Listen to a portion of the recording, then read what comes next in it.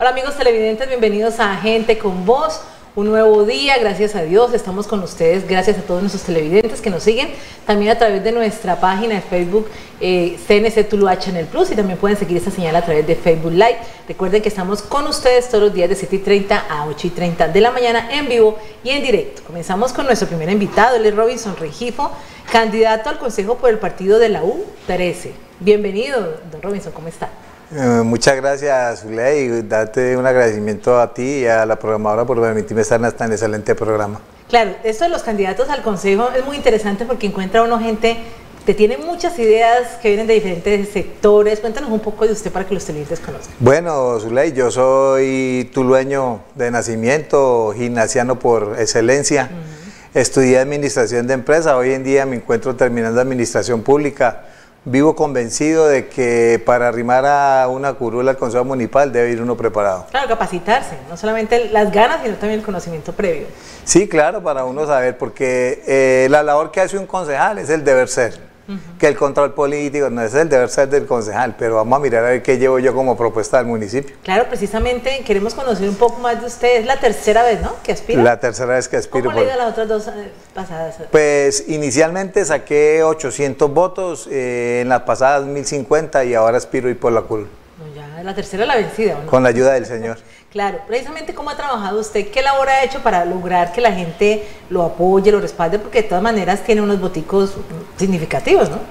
Pues hemos venido, su ley, durante ocho años, el directorio abierto de lunes a sábado, en elecciones y, no, y sin ellas, siempre abierto, dispuesto a prestarle servicio a la comunidad me he destacado en Tuluá por ayudarle a la gente con toda la problemática de la salud y estar pendiente ahí para brindarle una mano amiga a quien llega. Bueno, ya que usted nos habla del tema de la salud, entonces empecemos por ahí. El tema de la salud, recordemos, hay que hacer la semblanza, es un problema a nivel nacional, viene desde arriba viciado todo el sistema, pero de todas maneras hay cosas que se pueden gestionar desde los municipios, por ejemplo, la atención oportuna a los pacientes que que constantemente están trayendo quejas no solo a los medios de comunicación, sino a la personería, a todos lados por una mala atención. ¿Qué piensa hacer usted desde el Consejo con la parte de salud? Mira, Zuley, yo en el mandato de José Hermán Gómez eh, fui uno de los miembros que conformó el equipo de calidad de la Secretaría Municipal de Salud. Eso dio muy buenos resultados porque la gente iba y colocaba la queja y iban dos auditores de calidad a hacer la visita y a tratar de solucionarle al usuario la necesidad que tenía. Eso dio muy buen resultado, yo diría que demasiado. De ahí para allá eh, hemos tenido un trabajo con la gobernación también, del cual hice parte del equipo de IBC. Estuve un tiempo en Defensoría del Paciente, conozco la normatividad, conozco la necesidad del usuario, pero hay algo que, que tiene una connotación bastante extraña, es que hay indolencia por parte del usuario ante la necesidad que él vive. Del desconocimiento no me cime de la responsabilidad. Muchas veces no se te dan las cosas en la salud porque vos como usuario pensás que esto es regalado y nada es regalado. Nosotros el Estado, el Estado somos todos. Y la plata que coloca el Estado es mía, es tuya, es de todas las personas que hacemos parte de nuestro glorioso Colombia.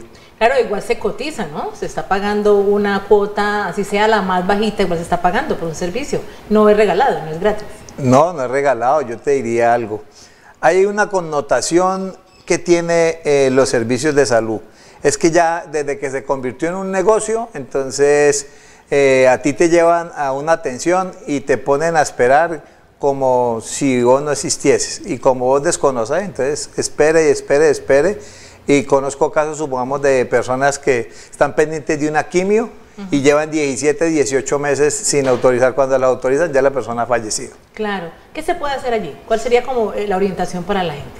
Mira, yo tengo como proyecto eh, implementar en Tuluá una veeduría ciudadana en salud fuerte que llegue a las EPS y las obligue de tal forma a que le cumplan al usuario como tal. Vemos, supongamos, un caso patético en Tuluá. La nueva EPS cambió de eh, IPS prestadora del servicio. Eh, esa nueva IPS se llama IPS Vivir, comenzó con instalaciones reparadas y todo. Es triste que la normatividad por medio de la resolución 256 diga que para medicina general son tres días máximo para asignar una cita. Hoy se está demorando un mes, para laboratorio un mes. Y tiene una connotación más la nueva IPS, que es que maneja la mayoría de personas eh, de mayor edad en Tuluá, el adulto mayor de Tuluá. Entonces imagínate eso, fuera, comenzaron a atender la gente y uno dice, cómo le autorizó la Secretaría Departamental si no eh, se miró la capacidad instalada. Eh, mientras que venía la IPS así con varias instituciones prestándole los servicios a los usuarios de Tuluá de manera normal, cambian a una que no tiene nada, no tiene la capacidad instalada para atender. Entonces uno dice, bueno, ¿qué está pasando aquí? Y los usuarios y las asociaciones de usuarios tienen una connotación que no funcionan o la gente no quiere hacer parte de ellas. Y es el mecanismo de defensa del usuario contra la IPS o la IPS como tal. Entonces nos falta más educación también en ese sentido, conocer que tenemos derecho y que tenemos que hacer parte. Sí, claro, yo diría que es sentido de pertenencia y responsabilidad, porque muchas veces yo consigo para los demás y no es un servicio mío. Entonces eh, habría que mirar desde ese punto de vista qué podemos hacer. Pero ¿cómo establecer una buena veeduría teniendo en cuenta a don Robinson Rengifo, candidato al Consejo U13? Que de todas maneras eh, la mayoría de las EPS se quejan es que no tienen plata y las IPS también, que las EPS no les pagan. Entonces ahí digamos que el problema no sería como otro, es resolverle la parte económica a las EPS, porque claro, se puede exigir un, servicio, pero igual las EPS ya ni con tutela, ni con desacatos, ni con órdenes de arresto. ¿Qué puede hacer ahí? Sí, mira, lo que pasa es que eh, la salud y sus ingresos, digamos, muchas veces se demoran del Estado para que rime la EPS como tal. Entonces tenemos el caso, vamos, de, hablemos dos EPS en Tuluá concretas, eh, Comeva EPS y Medimás. Eh, como MEO EPS, eh, todo el mundo le quiere prestar el servicio pago por anticipado. Entonces, necesitan una cirugía para ti de 15 millones que me pague y la atiendo. no hay convenio, lo que le dicen a uno como usuario. sí, eso se llama red de prestadores. Pero la red de prestadores lo tienen, pero si usted les debe y no les paga, entonces él le paga a usted los servicios. Y, es, la, es la grave problemática que enfrenta en nuestro país hoy. Entonces, ¿qué se puede hacer allí? Ahí pues es el Estado quien tiene que entrar, yo diría que cambiar el modelo. Cuando existía el, monopolio en la salud, el Seguro Social fue el mejor modelo que hubo. Claro. Porque malo o bien a usted lo atendían y el Seguro Social todo el mundo le corría y le trabajaba sin problema. Que se demorara para pagar, pero, pero pagaba. Mm. Hoy en día la gente le trabaja, pero no les pagan. Entonces la gente dice, no, yo le pago el servicio. Pero hay alguna connotación más grande. Es increíble, estemos en el 2019 y a las instituciones prestadoras de salud todavía le estén pagando con el manual IS 2001, 18 años después, y entonces la EPS llama al, al profesional de la salud, yo le voy a pagar con el manual tarifario IS 2001 pero menos el 10, menos el 15, menos el 30. O sea que 19 años atrás menos en vez de más. Antes uno dice cómo subsisten los profesionales de la salud. Sí, realmente. Entonces tienen que manejar esos volúmenes para poder tener rentabilidad y eso qué, qué hace? De, se vuelve el deterioro de la atención en salud. Pero con todo ese conocimiento que usted tiene del tema, usted propone una veeduría ciudadana. ¿Cómo hacerla efectiva entonces teniendo en cuenta todo ese problema que nos acaba de comentar? Lo que pasa es que eh, el desconocimiento de la ciudadanía como tal hace que las IPS hay veces eh, abusen del usuario como tal. Si nosotros hacemos presencia, lo conocí cuando fui veo en salud, claro, él presiona y entonces la gente cuando usted presiona dice, hagámosle porque si no esta gente sale a los medios y me da garrote, como se dice. Conmigo. Sí, tenemos la experiencia de, varias, eh, varios casos que vienen y nos comentan y entonces la EPS inmediatamente responde porque dice, bueno, eh, es una mala publicidad la que le está haciendo. De alguna manera, pero si todas las personas y todos los ciudadanos accedieran a eso, usted imagina, nos llenaríamos todos los días de, quejas de usuarios, pues realmente no todo el mundo lo hace. Sí, por eso te digo, mira el caso de mi hermano Fernelli, mi hermano resultó con un cáncer en el colon, eh, eh, le enviaron las quimios, Comeva no autorizó, entonces yo cogí, hice un video, me paré en la instalación de Comeva y a la media hora llamaron a mi hermano a autorizarle la... Entonces, la persona que no conoce los medios, cómo conseguir, entonces se queda ahí en espera, en espera, en espera hasta que lo entiende. pacientes y todo eso. Claro, el caso que denuncié la semana pasada eh, no es culpa del Tomauri, sino de Medimás.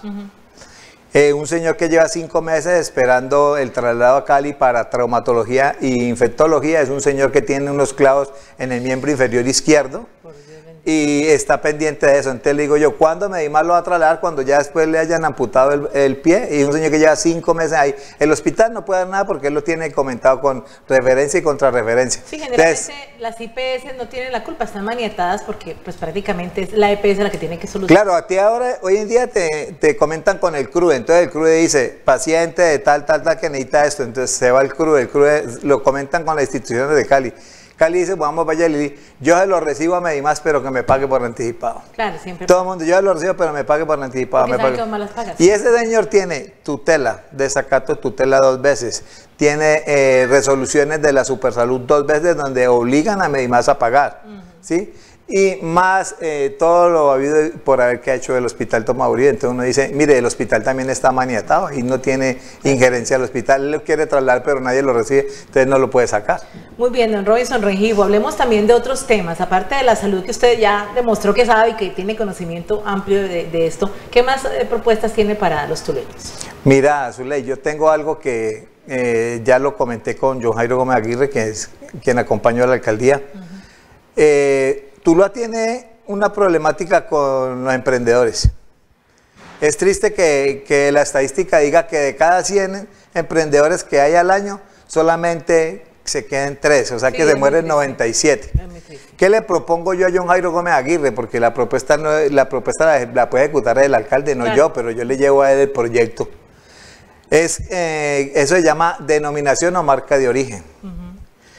Que es coger 200 o 300 emprendedores, sacarlos de una feria a la Plaza Boyacá Sí. y que sea él en- ante la superintendencia que matricule hecho en Tuluá.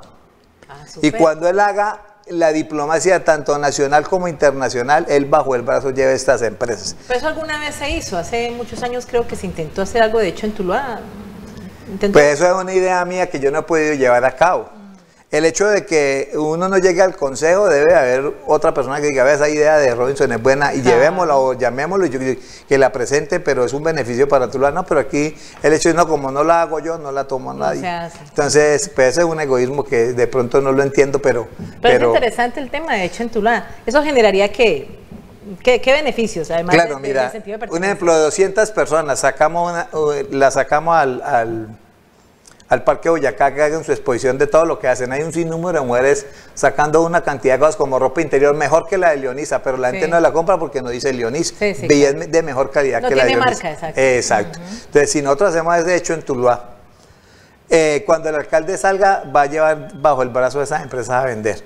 Tenemos el caso, el último hecho eh, eh, de marca propia o denominación de origen en Manizales. El año 2018 Manizales eh, con, su, eh, con sus empresas vendió 48 mil millones de pesos. Claro. Le ayudó al municipio y le ayudó a, a los empresarios. ¿A qué? A que generaran empleo. Claro, es generar eh, una denominación de origen, como dice usted, porque tenemos, por ejemplo, el caso de los bordados de Cartago, ¿cierto? Que los dulces del Valle de Uga, que el sancocho Ginebra, o sea, todo tiene una marca y a Tuluá nos falta esa marca no tenemos, propia. no, la tenemos. una marca propia, sí. Entonces, mira, eh, el pacto 2 del plan de desarrollo del gobierno nacional, hoy vigente, nuestro presidente, él habla de que 1.6 billones de empleos debe generar eh, los, emprende- los nuevos emprendedores del país. Pero tiene por debajo como un traspié, la economía naranja tiene un traspié en el pacto porque habla de que si vas a arrancar, entonces vos tenés que pagar seguridad social, ARL, tenés que entrar a ser parte de una red del DNP nacional, Sí. donde te van a amarrar, entonces lo que te van a hacer es que te van a obligar más. Al comerciante que recién inicia, eh, yo diría, eh, va a montar un, un negocio de que montarlo le vale 500 mil y tiene que arrancar a pagar otro poco de plata. Entonces me dice, o pago la plata o arranco. Así es. Es, es una verdad y uno entiende que el emprendimiento va amarrado también a, un capital porque de todas maneras, lo que usted dice, hay muchos gastos y realmente crear empresa en Colombia es difícil, es bastante difícil. Sí, claro, yo le, yo le, le- le propongo a John Jairo Gómez Aguirre que sigamos con el ejemplo de Valleín, que le demos el capital semilla, que la gente tenga la oportunidad de, de hacer y que salga adelante con toda la colaboración del Estado. Es que el Estado tiene eh, la, la forma de cómo ayudar al emprendedor. Así es. Porque es que de cada 100 empresas que mueran, 97 es triste. Es triste. Entonces uno dice, se perdió el impulso, se perdió la plata. Y no es por falta de creatividad ni innovación, sino por tantos impuestos y tantos gastos y tantas cosas que hay encima del empresario y sea pequeñito. No, y que eh, la rimada de los chinos a Colombia para nadie es un secreto, ha acabado con el sí. comercio de- en Colombia, ha acabado con las manufacturas.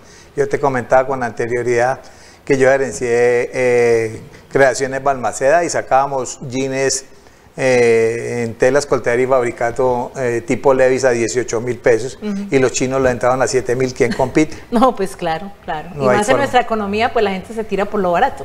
No ve tanto la calidad, sino el precio. Muy bien.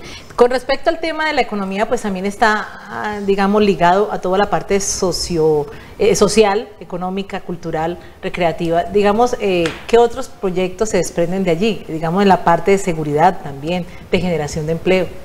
Sí, claro, mira, cuando hablábamos de, la, denominación de origen, un ejemplo, saca una señora unas sudaderas. Resulta que la señora produce en la semana 20 eh, sudaderas abrimos una empresa y le digo, no, yo necesito que usted me haga mil sudaderas. Cada mes un ejemplo por, para no ir muy lejos. Entonces la señora que tiene que hacer, asumir la responsabilidad de conseguir quien le ayude a hacer, porque ya no está en la capacidad de producir las mil sudaderas. Y todo va a pasar así. El ejemplo de, de Manizales es bueno, porque ¿qué terminó la denominación de origen de Manizales? Había gente que producía lácteos, dulcería. Terminaron dándole, eh, siendo los, eh, los, que suministran los de ayunos escolares de todo Caldas.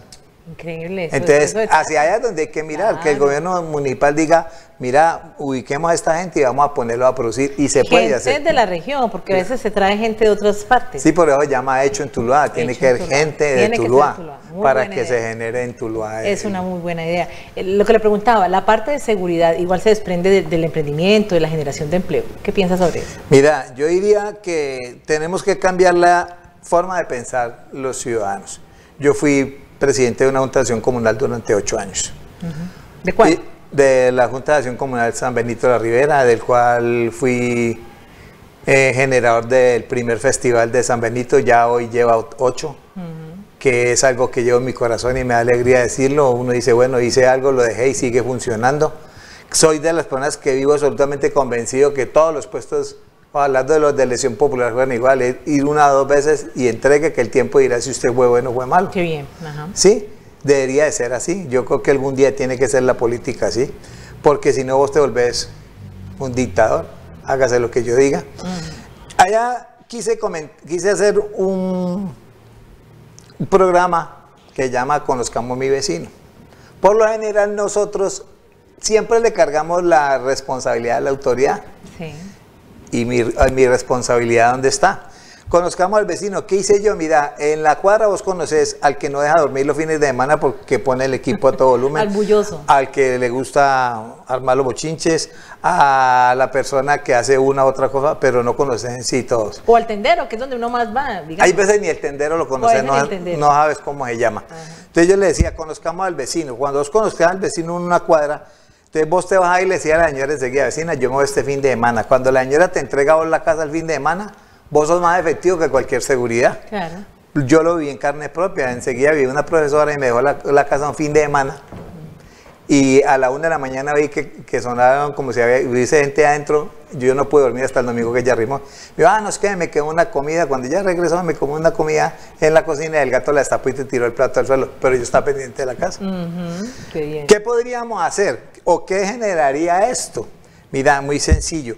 Si en tu casa, yo digo, en la, casa de Zuley arrima de manera reiterada la mamá, el hermano, una tía y, yo a una persona diferente que no es a las que consuetudinariamente veo, yo mismo llamo a la policía. Claro. Y estaríamos dando la oportunidad de pronto hasta de salvar muchas vidas. No, y mire que eso, eso tiene mucho sentido porque uno ve que a veces llega a ciertas partes a preguntar por, por, alguien conocido y sale el vecino y le dice, no, no está, se acaba de salir para la tienda. Entonces sí estamos pendientes de los vecinos. Entonces qué bueno capitalizarlo en lo que usted dice, ¿no? Claro, y mira, es más, cuando uno arrima la casa, la persona ya le dice, vea, arrimó su hermano eh, Fernelli, arrimó su hermana Marta.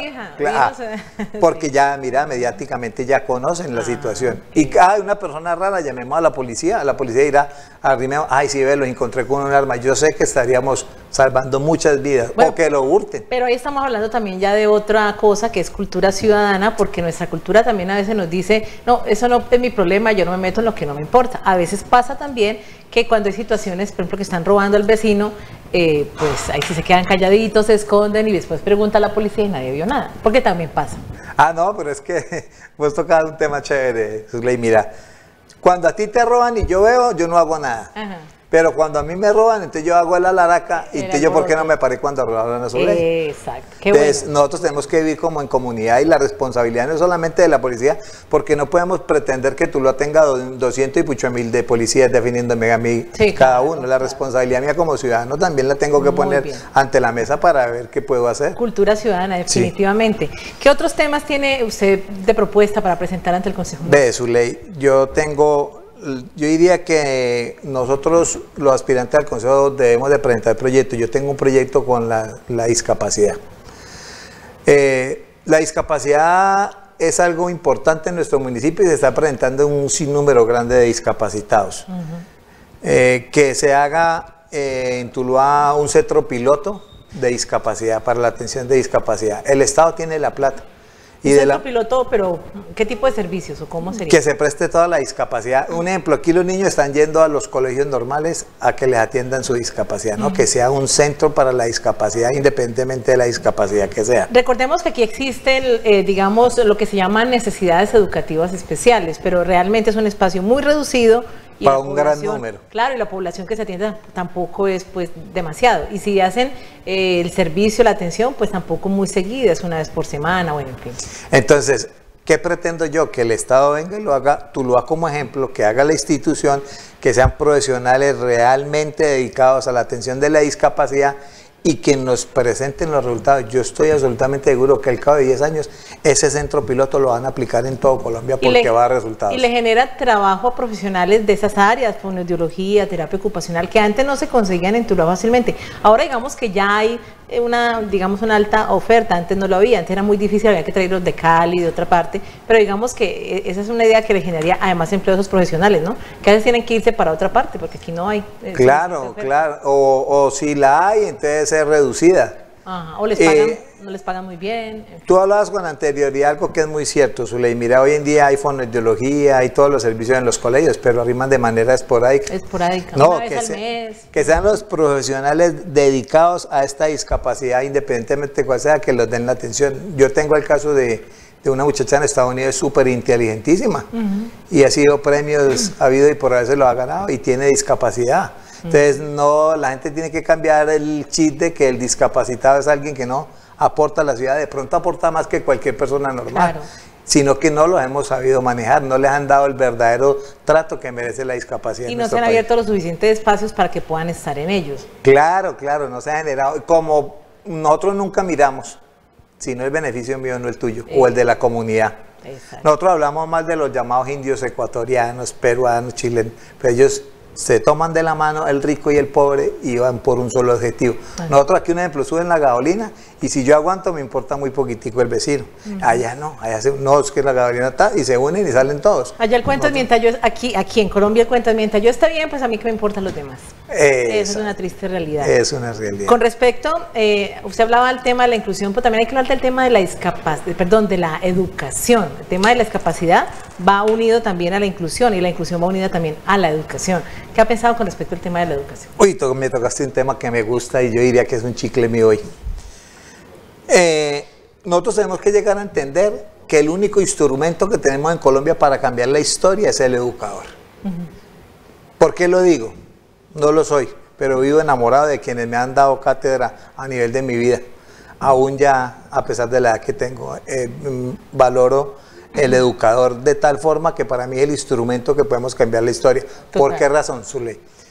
Yo en mi casa a mi papá me le muestro como soy para tenerlo contento a él. Pero cuando yo voy a una aula escolar, el educador termina siendo el psicólogo, psiquiatra, el papá de mi hijo. Sí, porque sale la naturaleza real del Claro, eh, yo me muestro realmente como soy. Cuando el educador llama a mi papá y le dice, vea, yo le quiero decir que Robinson esto y esto, yo le digo al profesor, y está, lo trato mal. Mm. No, eso no es así, mío, tan, tan. Resulta que el profesor me quería dar a mí un campanazo y alerta como papá a si me ve a su hijo anda en malas compañías, de pronto su hijo anda con gente que fuma mm, sustancias psicoactivas o que le está jalando al hurto o que le está jalando a la prostitución infantil. Entonces, eh, mi egocentrismo, porque yo como papá creo que estoy dando lo mejor, no me deja ver el mensaje que me quiere que pasar el educador.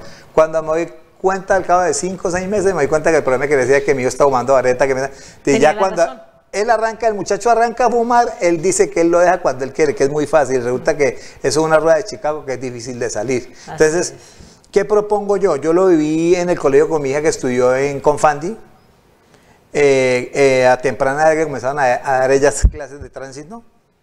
Y mi hija se me montaba al carro y era papá el cinturón, papá el semáforo está en rojo, papá, no te vayas a parar en la cebra. Educando a papá. Claro, lo mismo hay que hacer con ellos, darles esas herramientas desde muy temprana edad a que se van a enfrentar a la drogadicción, a la prostitución y a la violencia. Y yo estoy absolutamente convencido, Zuley, de que al cabo de, que un muchacho se arrime a la adolescencia, él te va a decir, papá, ¿cómo te parece que mi amiga fulana de tal me está invitando a esto? Que hoy en día no sucede. No hay confianza. Pero el educador es la única herramienta que tenemos. Tenemos que darle ese valor real al educador. ¿Y cómo hacerlo del consejo, don Robinson? Pues que iniciemos con lo poco y nada que hay en las cátedras de educación en el municipio de Tula y yo sé que en 5 o 10 años estamos obteniendo resultados, estamos teniendo resultados, pero hay que darle el valor real al educador, es el instrumento que tenemos, no solamente para cambiar la historia de Tuluá, es de Colombia entera, es el único instrumento que tenemos y es el que menos valoramos. Bueno, Robinson, se nos está sacando el tiempo con usted, de todas maneras es, eh, digamos, la tercera vez eh, ¿Qué estrategia tiene para llegar esta vez? Porque ya lo he intentado tres veces. Bueno, lo he intentado dos veces, esta es su tercera vez. ¿Qué estrategia tiene? Pues la estrategia es que la gente le dé la oportunidad a una persona diferente que piensa que ha hecho labor social, que tiene un trabajo social hecho y que quiere seguirlo haciendo. No quiero ir sino una sola vez al consejo a dar un paso al costado y que venga otro en mi movimiento a, de entrar a hacer lo mismo que yo, yo buscar otra instancia. ¿Por qué razón? Porque creo que, un ejemplo, yo eh, siendo concejal del municipio de Tulao voy a tener la oportunidad de ubicar un sinnúmero de personas. Si yo me quedo ahí no le voy a poder ayudar a nadie más. Ok. o sea, usted quiere llegar para ayudar, para servir. Sí, para seguir trabajando.